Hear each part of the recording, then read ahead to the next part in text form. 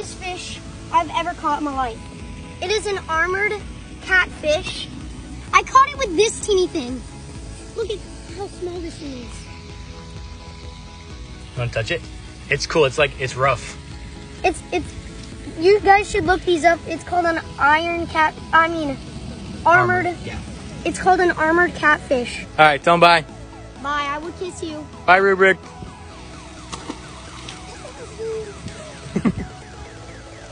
That's my. Oh my gosh. That, it caught me. You got you pretty good, huh?